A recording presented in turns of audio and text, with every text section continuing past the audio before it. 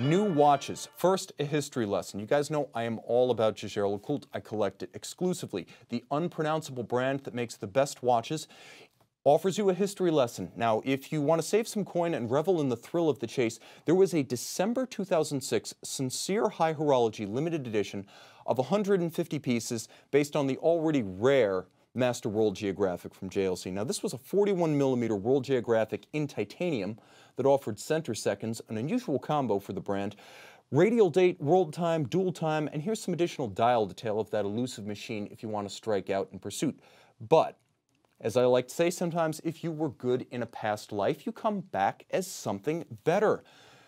The Jaeger-LeCoultre Polaris Geographic World Timer. Okay, now we're talking a now watch, a today watch. This is a timepiece that just broke in the last 24 hours. It's part of the new for 2018 JLC Polaris model family, but this did not come out in January at SIHH. So this one's all about the blue gradient dial. That's the highlight. If we go full screen with this one, guys, folks really deserve a big picture because this is all about the transition of the color from the center to the outside it has a beautiful, richly textured pebble-like surface, like you'll find on JLC's eggshell Duometre discs for about twice the price. Now, it appears that standard accessory includes a black gator strap and a steel pin buckle. This one has a display case back that secures 100-meter water resistance, this is going to be an aquatic watch, guys, just not on the leather, uh, to protect the JLC caliber 936, which makes its first appearance in a JLC watch since about 2009, when the Master World Geographic was phased out. Now, there is a little bit of a downside. This will be a JLC boutique exclusive of 250 pieces. At 13,650 euros, you guys know how VAT works. I can't just convert that straight to dollars. I would imagine in the end this winds up being about an 11,000 to $12,000 US piece. Okay, from the brand that made expensive watches fun and silly comes the MB&F Aquapod HM7 in Thai green. Titanium and green, the latest evidence that green watches are the new blue. All the more because it replaces an original watch, the original, if you remember, that I brought you in 2017, that actually featured blue accents. So you can see we've gone from blue to green. Now, it's a sapphire cap over green base material, so you've got a synthetic sapphire over the green that effectively provides protection, allowing it to be scratch resistant, scuff resistant, and daily wear. It's a showstopper, and the consensus in 2017 was that the original jellyfish-like watch was the best in show at SIHH. Okay, titanium case with crazy jellyfish profile. You see what I'm talking about. This thing is biomorphic and wonderfully silly totally fatuous. Max likes to say that a creative adult is a child that survives, and that is the spirit that flourishes at MB&F. I was thrilled to find this one in my inbox yesterday. Okay, big watch, 53.8 millimeters in diameter by 21.3 thick. It doesn't wear that big. In practice, I got a 16 centimeter wrist. I could wear it. There were ladies in the audience at SIHH, even smaller than me, who could wear this watch. Don't take it at face value. What you can take at face value is the Epic Lume. This one comes alive at night.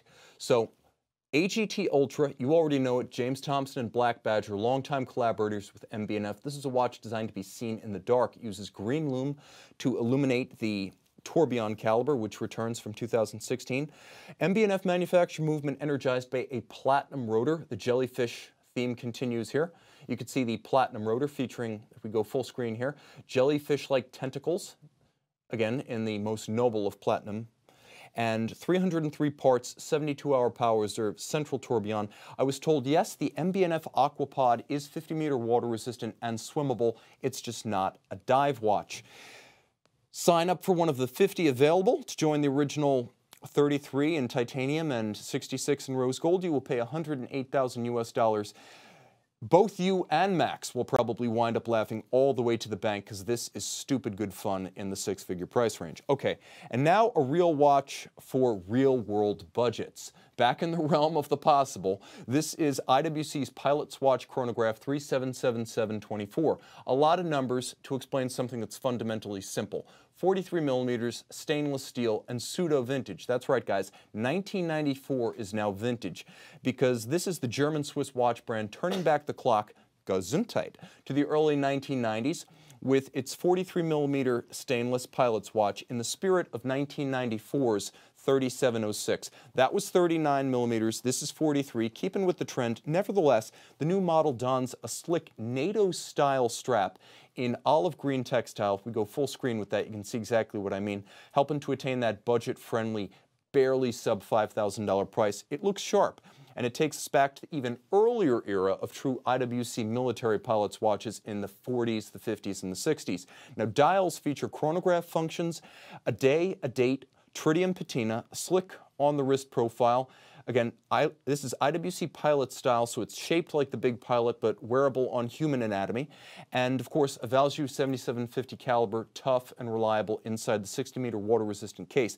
Now, in keeping with recent trends, this will be an IWC e-commerce exclusive, at least until October of this year. 4,950 US dollars hooks you up.